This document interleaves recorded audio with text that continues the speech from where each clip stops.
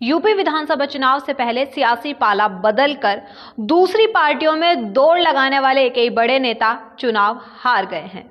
हालाँकि कई दल बदलुओं को नई पार्टी की हवा रास आई है। उन्होंने दूसरे चुनाव चिन्ह पर भी अपनी पारंपरिक सीट बचा ली है। यहाँ हम यूपी के कुछ ऐसे ही नेताओं की फहरिस्त लेकर आए हैं जिन्होंने चुनाव से ठीक पहले दल बदला था।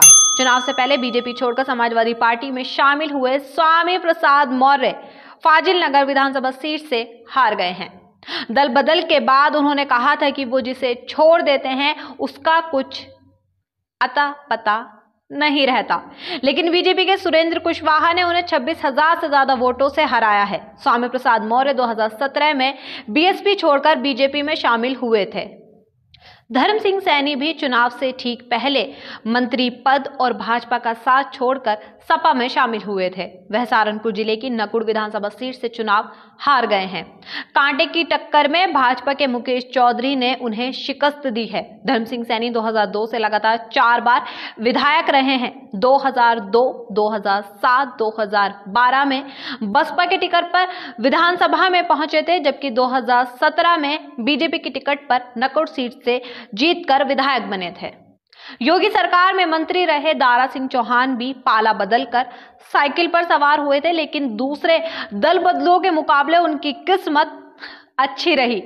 मऊ ज़िले की घोसी विधानसभा पर उन्होंने जीत दर्ज की है। उन्होंने बीजेपी के विजय राजभर को शिकस्त दी है। 2017 में दारा सिंह चौहान ने बीजेपी के टिकट पर मऊ ज़िले की घोसी विधानसभा से चुनाव जीता था।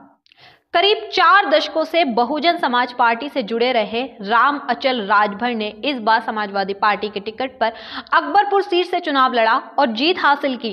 राजभर बीएसपी सुप्रीमो मायावती के करीबी नेताओं में रहे हैं, लेकिन बाद में दोनों में अनबन हो गई। मायावती ने उन्हें पार्टी विरोधी गतिविधियों के चलते बसपा से निष्कासित कर दिया। 2022 के चुनाव से पहले राम अचल ने समाजवादी पार्टी का दामन थाम लिया।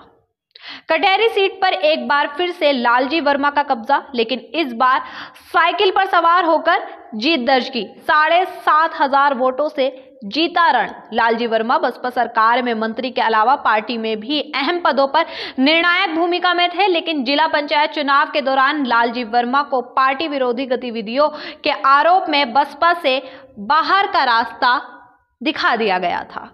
अदिति सिंह ने रायबरेली सदर सीट पर बीजेपी का झंडा लहरा दिया है। नवंबर 2021 में अदिति ने बीजेपी का दामन थामा था। बीते कुछ साल से अदिति सिंह की कांग्रेस से अनबन की खबरें सामने आ रही थी।